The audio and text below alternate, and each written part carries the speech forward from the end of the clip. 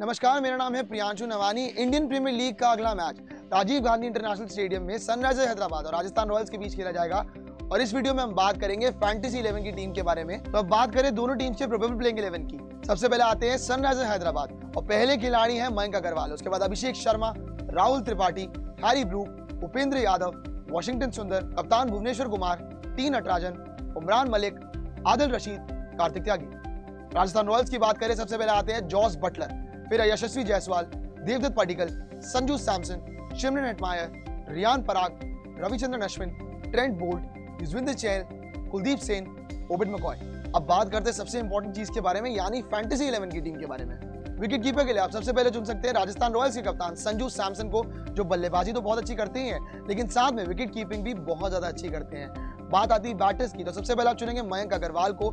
जिनका रणजी ट्रॉफी का फॉर्म काफ़ी अच्छा रहा था, लेकिन पिछले सीज़न में वो ज़्यादा अच्छा परफॉर्मेंस नहीं दे पाए थे पंजाब किंग्स के लिए। फिर आप चुनेंगे जॉर्ज बटलर को, जिन्होंने पिछले साल ऑरेंज कैप जीती थी और आठ रन बनाए थे।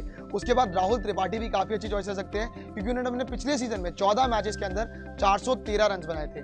फिर आप चुनेंगे हैरी ब्रूक को, जो कि सनराइजर हैदराबाद के लिए मिडिल ऑर्डर में खेलेंगे। उन्होंने इंग्लैंड के लिए 20 टी खेले हैं, जहाँ पे उन्होंने तीन सौ बहत्तर रन बनाए हैं। अब ऑलराउंडर्स की बात आती है तो सबसे पहले आप चुनेंगे यंग टैलेंट अभिषेक शर्मा को, जिन्होंने पिछले सीज़न काफ़ी प्रभावित किया था।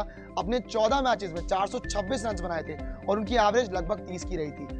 फिर आप चुनेंगे वॉशिंगटन सुंदर को, जो कि काफ़ी इकोनॉमिकल बॉलर है। उन्होंने पिछले साल छह विकटें ली थी और 101 रन भी बनाए थे। उसके बाद ओबेड मेकॉय भी काफ़ी अच्छी चॉइस हो सकते हैं। फिर आप चुनेंगे आदिल रशीद को, जो काफ़ी इंप्रेसिव परफॉर्मेंसेस दे चुके हैं इंग्लैंड के लिए और काफ़ी अच्छे लेग स्पिनर है। फिर उसके बाद टी नटराजन भी काफ़ी अच्छी चॉइस सकते हैं, क्योंकि डेथ ओवर्स में वो काफ़ी कारगर साबित होते हैं और काफ़ी विकेट भी चटकाते हैं। फिर युजवेंद्र चहल भी सबसे अच्छी चॉइस हो सकते हैं बॉलिंग के लिए, क्योंकि पिछले सीज़न में वो हाईएस्ट विकेट टेकर रहे थे और उन्होंने पर्पल कैप जीती थी। अब बात आती है कैप्टन की और वाइस कैप्टन की। तो कैप्टन के लिए आप चुन सकते हैं युजविंद्र चहल को और वाइस कैप्टन के लिए आप चुन सकते हैं जॉस बटलर को।